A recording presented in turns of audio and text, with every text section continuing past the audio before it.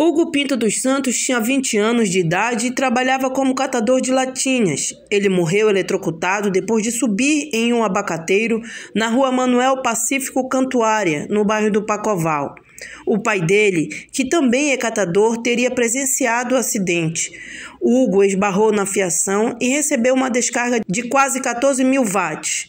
O corpo ficou preso nos galhos da árvore. A rede elétrica precisou ser desligada para que os bombeiros fizessem a retirada.